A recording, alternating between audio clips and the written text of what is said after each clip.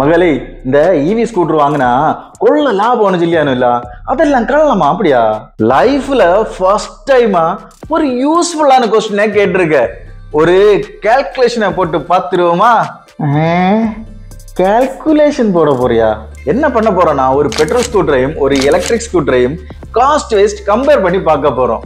மனசிலாவில்ல மக்கா புரியுற மாதிரியே சொல்றேன் ஒரு எலக்ட்ரிக் ஸ்கூட்டர் வாங்குறதுக்கு எவ்வளவு காசு ஆகும் அது நீங்க பத்து வருஷம் யூஸ் பண்ணீங்கன்னா உங்களுக்கு ஃபியூவல் அதாவது எலக்ட்ரிசிட்டிக்காக எவ்வளவு எக்ஸ்பென்ஸ் ஆகும் அதே பத்து வருஷத்துக்கு உங்களுக்கு மெயின்டெனன்ஸ் காஸ்ட் எவ்வளவு ஆகும் இதை மூணு ஆட் பண்ணிட்டாலே பத்து வருஷம் அந்த பைக்கை நீங்க வாங்கி யூஸ் பண்றதுக்கு உங்களுக்கு எவ்வளவு எக்ஸ்பென்ஸ் ஆகும்னு கண்டுபிடிச்சிடலாம் அதே மாதிரி பெட்ரோல் ஸ்கூட்டருக்கும் பண்ணிட்டோம்னா பத்து வருஷத்துக்கு ரெண்டுக்கு ஆகிற காஸ்ட்டை கம்பேர் பண்ணிட்டானாலே நமக்கு தெரிஞ்சிடும் எதோட எக்ஸ்பென்ஸ் அதிகம் எதோட எக்ஸ்பென்ஸ் கம்மின்னு. ஓ அப்படின்னா பத்து வருஷம் ஒரு பெட்ரோல் ஸ்கூட்டரை வச்சுருந்தா எவ்வளவு செலவாகும்? பத்து வருஷம் ஒரு எலக்ட்ரிக் ஸ்கூட்டரை வச்சிருந்தா எவ்வளவு செலவாகும்னு ரெண்டையும் கம்பேர் பண்ணி பார்த்து கண்டுபிடிக்க போற. ம் சூப்பர் சூப்பர் இந்த கம்பேரிஷனுக்காக நாம எடுக்க போற ஸ்கூட்டர்ஸ் எதுன்னா பெட்ரோல்ல டிவிஎஸோட என்டார்க் ஒன் டுவெண்ட்டி ஃபைவும் எலக்ட்ரிக்கை பொறுத்த வரைக்கும் ஏத்தரோட ஃபோர் ஃபிஃப்டி எக்ஸும் ஏன்? கம்பேர் பண்ண வேற ஸ்கூட்டர் கிடைக்கலையோ? டேய் இது ரெண்டுமே ப்ரீமியம் ஸ்கூட்டர் அது மட்டும் இல்லாம இதுல என்டார்க் ஒன் டுவெண்ட்டி ஃபைவ் நான் யூஸ் பண்ணிட்டு இருக்கேன் என்னோட ஃப்ரெண்டுகிட்ட ஏத்தர் ஃபோர் ஃபிஃப்டி எக்ஸ் இருக்கு. ஸோ இந்த சர்வீஸ் மெயின்டெனன்ஸ் காஸ்ட் எல்லாம் என்னால ஈஸியா கலெக்ட் பண்ண முடியும். ஸோ இந்த ரெண்டு பைக்கை நான் கம்பேர் பண்ணலான் இருக்கேன். சரி சரி. இழுக்காம மேட்ர செல்லு. சரி வாங்க இப்போ பெட்ரோல் ஸ்கூட்டரோட எக்ஸ்பென்ஸை பார்க்கலாம். டிவிஎஸ் என்டார்க்கோட ஆன்ரோட் ப்ரைஸ் பிரைஸ் ஒரு லட்சத்தி பன்னெண்டாயிரத்தி முன்னூற்றி எழுபது நம்ம ரேஸ் எடிஷன் தான் எடுத்திருக்கோம். ஃபியூவல் காஸ்ட் கண்டுபிடிக்கிறதுக்காக ஒரு வருஷம் அந்த ஸ்கூட்டர் பத்தாயிரம் கிலோமீட்டர் ஓடும்னு கால்குலேட் பண்ணிக்கலாம். ஓ ஒன் இஷ்டத்துக்கு கால்குலேட் பண்ணுவியா? அது எப்படி பத்தாயிரம் கிலோமீட்டர் வந்துச்சு? கணக்க சொல்லு. இதை மட்டும் நல்ல விளக்கமா கேளு. இந்த பத்தாயிரம் கிலோமீட்டர் எப்படி வந்துச்சுன்னா ஒரு காமன் மேன் டெய்லி பதினஞ்சு கிலோமீட்டர் அவரோட வண்டியை ஓட்டி அவரோட ஆஃபீஸ் போறாரு. திருப்பி பதினஞ்சு கிலோமீட்டர் ஓட்டி வீட்டுக்கு வராரு. இப்படி முப்பது நாள்ல இருபத்தஞ்சு நாள் அவர் ஆபீஸ் போறாரு. இருபத்தஞ்சு நாள் முப்பது கிலோமீட்டர்னு பார்க்கும்போது ஒரு மாசத்துல உங்களுக்கு எழுநூற்றி ஐம்பது கிலோமீட்டர் வந்துடும் அப்போ அதே இது பன்னெண்டு மாசத்துக்கு பாத்தீங்கன்னா நைன் தௌசண்ட் கிலோமீட்டர் வரும். வீட்டு பக்கத்துல காய்கறி வாங்க போறது வீக்கெண்ட்ஸ்ல ஃப்ரெண்ட்ஸ் வீட்டுக்கு ஃப்ரெண்ட்ஸை பாக்குறதுக்கு இப்படி ஏதாவது போறதுன்னு ஒரு வருஷத்துக்கு நம்ம ஒரு ஆயிரம் கிலோமீட்டர் கூட அடிஷனலா போட்டு ரவுண்டா பத்தாயிரம் கிலோமீட்டர் எடுத்திருக்கோம். பயக்குள்ள ஸ்கிரிப்ட் எழுதிட்டு வந்திருப்பானோ? சாதாரண அப்படி செய்ய மாட்டானே. நீ மேல சொல்லு மக்கா மேல சொல்லு. வருஷத்துக்கு பத்தாயிரம் கிலோமீட்டர்னா பத்து வருஷத்துக்கு ஒரு லட்சம் கிலோமீட்டர். இன்னைக்கு அக்டோபர் இருபத்தி நாலு ரெண்டாயிரத்தி இருபத்தஞ்சு தமிழ்நாட்டுல பெட்ரோலோட பிரைஸ் வந்து நூற்றி ரெண்டு ரூபாய் என்டார்க்கோட மைலேஜ் ஐம்பது கிலோமீட்டர் பெர் லிட்டர் அப்படின்னா பத்து வருஷத்துக்கு உங்களுக்கு எவ்வளவு பெட்ரோல் தேவைப்படும்னா அதாவது ஒரு லட்சம் கிலோமீட்டர் டிவைடட் பை ஐம்பது. அப்போ கிட்டத்தட்ட ரெண்டாயிரம் லிட்டர் பெட்ரோல் உங்களுக்கு தேவைப்படுது. இதை காஸ்ட்ல கன்வெர்ட் பண்ணோம்னா ரெண்டாயிரம் லிட்டர் பெட்ரோல் ஒரு லிட்டர் பெட்ரோலோட பிரைஸ் ஆன நூற்றி ரெண்டு. அப்போ உங்களுக்கு கிடைக்கிறது ரெண்டு லட்சத்தி நாலாயிரம் ரூபாய். அதாவது Ntorq one twenty five CC ஸ்கூட்டரை நீங்க ஒரு லட்சம் கிலோமீட்டர் யூஸ் பண்றதுக்கு அதாவது பத்து வருஷம் யூஸ் பண்றதுக்கு உங்களுக்காகிற ஃபியூவல் காஸ்ட் ரெண்டு லட்சத்தி நாலாயிரம் ரூபாய். டே டே டே டே. பத்து வருஷமா பெட்ரோல் பிரைஸ் மாறாமலா இருக்க போகுது. அது பாட்டு கூடிட்டே போகுமே. ரொம்ப அறிவாளி ஆயிட்ட போல. சரி நீ கேட்டதும் கரெக்ட் தான். கடந்த பத்து வருஷத்துல பெட்ரோலோட பிரைஸ் டிஃபரன்ஸ் எவ்வளோனா முப்பத்தஞ்சு பர்சன்டேஜ் இன்க்ரீஸ் ஆயிருக்கு. ஆனா அடுத்து வர பத்து வருஷத்துல அந்த அளவு இன்க்ரீஸ் ஆகுறதுக்கு வாய்ப்பு கம்மி. ஏன்னா எத்தனால வந்துருச்சு? அது மட்டும் இல்லாம நிறைய பேர் எலக்ட்ரிக் பைக்குக்கு மாறிட்டு இருக்காங்க. நம்ம டென் பர்சன்டேஜ் எடுத்துக்கலாம். அப்படி பார்க்கும்போது டூ லேக்ஸ் ஃபோர் தௌசண்ட் கூட டென் பர்சன்டேஜ் ஆட் பண்ணும்போது two lakh twenty four thousand வந்துடும் அடுத்து என்ன? மெயின்டெனன்ஸா ஆமா. Yearly three times Ntorq bike சர்வீஸுக்கு விட வேண்டியிருக்கு. கிட்டத்தட்ட ஆயிரத்தி முந்நூறு ரூபாயிலேருந்து மூவாயிரம் ரூபாய் வரைக்கும் எக்ஸ்பென்ஸ் வரும் ஒரு சர்வீஸுக்கு நம்ம இதில் மூவாயிரம் ரூபாய் கன்சிடர் பண்ணிக்கலாம். கிட்டத்தட்ட வருஷத்துக்கு மூணு வாட்டி சர்வீஸ் பண்ணுறோம் ஒரு சர்வீஸுக்கு மூவாயிரம் ரூபாய் வச்சு பார்த்தா இயர்லி நைன் தௌசண்ட் ருபீஸ் அதாவது உங்களுக்கு டென் இயர்ஸுக்கு நைன்டி தௌசண்ட் ருபீஸ் எடு எடு இந்த டயர் சேஞ்சு சின்ன சின்ன பார்ட்ஸுன்னு செலவு வரதான் செய்யும். மூவாயிரமே வச்சுக்கோ வச்சுக்கோ வச்சுக்கோ. ஸோ ஓவராலா ஒரு டிவிஎஸ் என்டார்க்கு ஸ்கூட்டரை நீங்க டென் இயர்ஸ் யூஸ் பண்றீங்கன்னா உங்களுக்கு ஆகிற ஓவரால் காஸ்ட் எவ்வளோனா ஆன் ரோட் பிரைஸ் ஒரு லட்சத்தி பன்னெண்டாயிரத்தி முந்நூற்றி எழுபது. அதாவது நீங்க வாங்குறதுக்காக செலவு பண்ணது. உங்களுக்காகிற ஃபியூவல் எக்ஸ்பென்சஸ் அதாவது ஒரு லட்சம் கிலோமீட்டர் பத்து வருஷத்தில் நீங்கள் ஓட்டுனீங்கன்னா ரெண்டு லட்சத்தி இருபத்தி நாலாயிரத்தி நானூறு ரூபாய் வரும். அதே மாதிரி மெயின்டெனன்ஸுக்கு பத்து வருஷத்துக்கு உங்களுக்கு நைன்டி தௌசண்ட் ருபீஸ் வருது. ஸோ டோட்டல் காஸ்ட் உங்களுக்கு நாலு லட்சத்தி இருபத்தாறாயிரத்தி எழுநூற்றி எழுபது. என்னது? ஒரு என்டார்க்கு பெட்ரோல் ஸ்கூட்டரை பத்து வருஷம் யூஸ் பண்ணா நமக்கு ஆகுற செலவு நாலு லட்சத்தி இருபத்தேழாயிரம் ரூபாயா? ஏய் இதுக்கே இப்படின்னா இனிமே தாண்டா ட்விஸ்டே இருக்கு. ட்விஸ்டா சும்மா கலாச்சண்டா ஏய் மக்களே பிபி ஏத்தாம சொல்லல. ஏத்தர் ஃபோர் ஃபிஃப்டி எக்ஸை பொறுத்த வரைக்கும் கம்பெனி கிளைம் பண்றது சிங்கிள் சார்ஜுக்கு நூற்றி அறுபத்தி ஒன்று கிலோமீட்டர் ரன் பண்ண முடியும்னு. ஆனா ரியல் வேல் ரேஞ்ச் ஒன் டுவெண்ட்டிலேருந்து ஒன் தேர்ட்டி வரைக்கும் தான் கிடைக்குது. நம்ம அப்ராக்சிமேட்டா ஒன் டுவெண்ட்டி ஃபைவ்னு ஃபிக்ஸ் பண்ணிக்கலாம். ம் எடு எடு. எல்லாம் உனக்க விருப்பம் தானே. எடு எடு. Three point seven kilowatt battery கொண்ட இந்த வேரியன்ட் ஒரு ஃபுல் சார்ஜுக்கு எடுத்துக்கிற கரண்டோட யூனிட் வந்து த்ரீ பாயிண்ட் செவன்லேருந்து ஃபோர் யூனிட்ஸ் நம்ம ஃபோர் யூனிட்ஸ்னே கன்சிடர் பண்ணிக்கலாம். தமிழ்நாடு எலக்ட்ரிசிட்டி ரேட்டை நம்ம ருபீஸ் டென் பர் யூனிட்னு கால்குலேட் பண்ணிக்கலாம். டே டே டே டே இதுதான் தவறான செயல். தமிழ்நாட்டில் எலக்ட்ரிசிட்டி ரேட்டு நாலு புள்ளி தொண்ணூத்தஞ்சு பைசா தான்.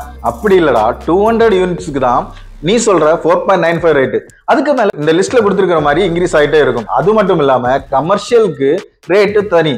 ஸோ நம்ம அப்ராக்சிமேட்டா டென் ருபீஸ்னு எடுத்துக்கலாம். ஏன்னா ஃபியூச்சர்ல எலக்ட்ரிசிட்டியோட காஸ்ட் அதிகமாகிறதுக்கும் வாய்ப்பு இருக்கு. ஏதோ ஒரு பேப்பரை எடுத்து வச்சுட்டு உருட்டுற. உருட்டு உருட்டு. நல்லா உருட்டு. போடா. டென் இயர்ஸில் ஒரு லட்சம் கிலோமீட்டர் ஓடணும்னா இது one twenty five kilometre range வச்சு நம்ம மல்டிப்ளை பண்ணி பார்க்கும்போது கிட்டத்தட்ட உங்களுக்கு இன்னொரு டைம்ஸ் சார்ஜ் பண்ண வேண்டி இருக்கும் ஒரு சார்ஜுக்கு நாலு யூனிட் தேவைப்படும். So eight hundred into four மூவாயிரத்தி இருநூறு யூனிட் கரண்ட் தேவைப்படும் ஒரு லட்சம் கிலோமீட்டர் இந்த எலக்ட்ரிக் ஸ்கூட்டியை ரன் பண்றதுக்கு. மொத்தமாகிற செலவு மூவாயிரத்தி இருநூறு இன்டு பத்து ரூபாய் வச்சு பார்க்கும்போது உங்களுக்கு முப்பத்தி ரெண்டாயிரம் ரூபாய் செலவாகும். அதாவது பத்து வருஷம் ஒரு லட்சம் கிலோமீட்டர் அந்த எலக்ட்ரிக் ஸ்கூட்டரை நீங்க ரன் பண்றதுக்கு உங்களுக்கு அப்ராக்சிமேட்டா முப்பத்தி ரெண்டாயிரம் ரூபாய் எக்ஸ்பென்ஸ் ஆகுது. மெயின்டெனன்ஸ் பொறுத்த வரைக்கும் இயர்லி டூ டைம்ஸ் தான். ஒரு தடவை சர்வீஸ் பண்றதுக்கு செவன் பிப்டி ருபீஸ் ஆகுது. நம்ம ரவுண்டா தௌசண்ட் எடுத்துக்கிட்டா கூட இயர்லி டூ தௌசண்ட் ருபீஸ் தான் ஆகுது. ஏன் செவன் ஃபிஃப்டியை தௌசண்ட் எடுத்தேன்னா டயர் சேஞ்சஸ் பார்ட் சேஞ்சஸ்னு எது வேணாலும் இருக்கலாம் ஸோ அதை கன்சிடர் பண்ணி தான் தௌசண்ட் ருபீஸ்னு எடுத்திருக்கேன். ஸோ பத்து வருஷத்துக்கு உங்களுக்கு டுவெண்ட்டி தௌசண்ட் ருபீஸ் ஆகுது. Ather four fifty X three point seven kilo வாட்டோட on road price உங்களுக்கு ஒரு லட்சத்தி அறுபத்தி ஏழாயிரத்தி முன்னூற்றி இருபத்தி எட்டு ரூபா வருது. Super super. அப்படின்னா ஈவி தான் ரொம்ப ரொம்ப சீப்புன்னு ஆஹ் ஒரு லட்சத்தி அறுபத்தி ஏழாயிரம் ஆண்டோடு காஸ்ட் முப்பத்தி ரெண்டு ஒரு இருபது ஐம்பத்தி ரெண்டு ரெண்டு லட்சத்தி பத்தொன்பதாயிரம் வேலை முடிஞ்சு. நான் அப்ப ஈவிக்கு மாறலான் இருக்கேன். அவசரப்படா தம்பி நான் சொன்ன ட்விஸ்டே இனிமேதான். நீ என்னடா சொல்ற? மச்சி ஏத்தர் பேட்டரிக்கு த்ரீ இயர்ஸ் இல்லைனா தேர்ட்டி தௌசண்ட் கிலோமீட்டர்ஸ் தான் வாரண்டி கொடுக்குறாங்க. ஸோ பத்து வருஷத்துல நீ மூணு வாட்டி இந்த பேட்டரியை சேஞ்ச் பண்ற மாதிரி இருக்கும்.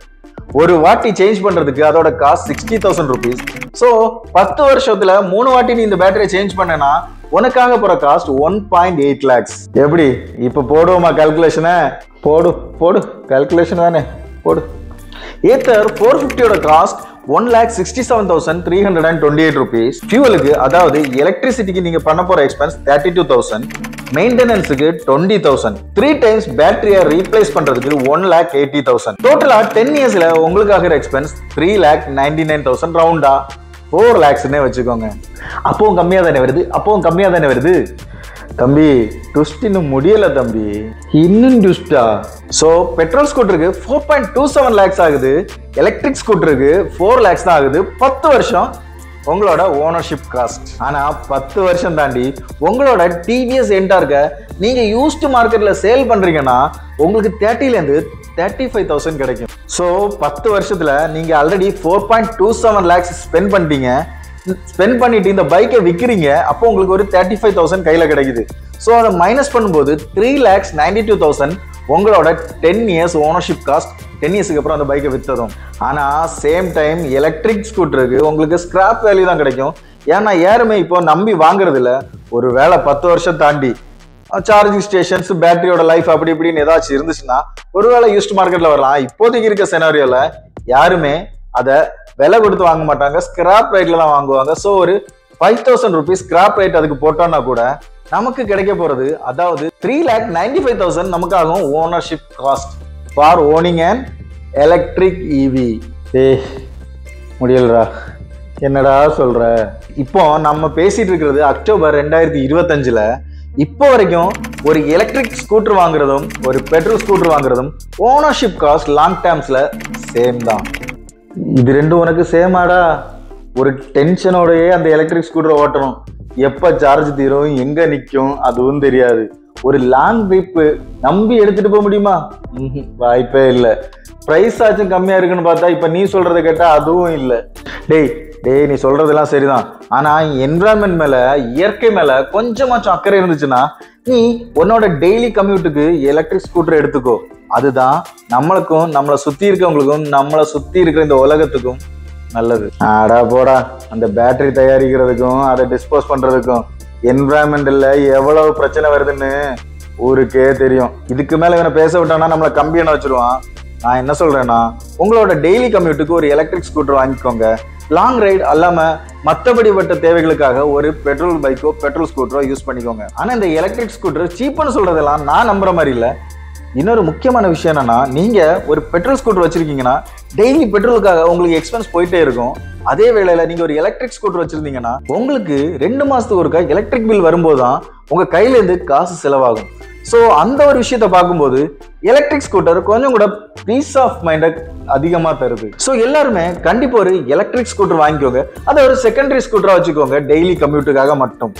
காய்கறி வாங்க போறது பக்கத்துல இருக்கிற ஆஃபீஸுக்கு போறது ஃப்ரெண்ட்ஸ் வீட்டுக்கு போறது கிரவுண்டுக்கு போறது கிரிக்கெட் விளாடுறதுக்கு இப்படிப்பட்ட விஷயத்துக்கு அந்த எலக்ட்ரிக் ஸ்கூட்டர் யூஸ் பண்ணுங்க. மற்றபடி லாங் டூரிங் இல்ல வேற எங்கேயாவது போறீங்க ஏதோ அவசரமா போறீங்க அந்த மாதிரிப்பட்ட விஷயத்துக்காக பெட்ரோல் ஸ்கூட்டரை யூஸ் பண்ணிக்கோங்க. மக்களே இந்த பய கேட்க மாட்டான். நானே கேட்கேன். லைக் பண்ணி ஷேர் பண்ணி சப்ஸ்கிரைப் பண்ணி அப்படியே மணி அடிச்சுட்டு போங்க. நாங்களும் நல்லா இருப்போம் இல்ல பாய் மக்களே.